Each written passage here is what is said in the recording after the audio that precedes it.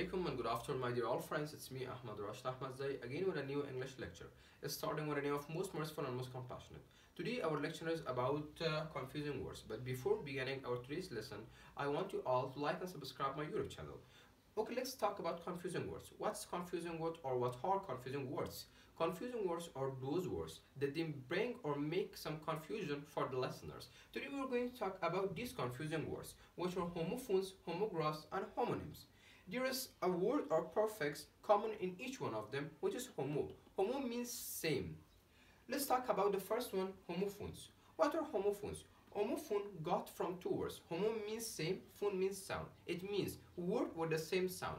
And the definition for homophone is words with the same sound but different in spelling and different in meaning. For example, two and two.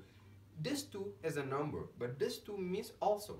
Allowed. This means reading something with an I sound. This means having permission to do something.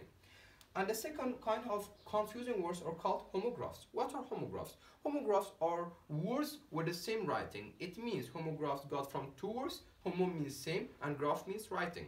It means homographs are the simple definition for homographs. Homographs are words same in spelling but different in sound or different pronunciation and meaning. For example, bass and bass this bass is a kind of fish. For example, I can say I'm going to um, catch a bass, but this one is bass is sound of music.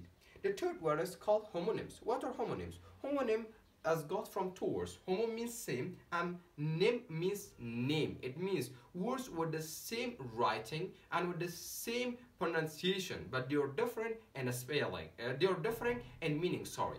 For example, lift and left. They are they both are same in uh, pronunciation and same in spelling but they have different meaning. We use left as a verb the second form of leave but this one is uh, left that we use it for direction. And the next one is want and want they both are same in pronunciation and same in spelling but they're different in meaning. One means injury and that one means wrap around. Okay there is something mentionable that i want to mention is that some says Homonyms are both homographs and homophones. It means some people says that homonyms can include both homographs and homophones. Okay, boys and girls, it was our today's lesson. In case of any question, any complaints, or any uh, suggestion, you can uh, text me freely or not friendly. Um, I hope you enjoyed and learned today's lecture. Uh, until next lesson, wish you always take care of yourself.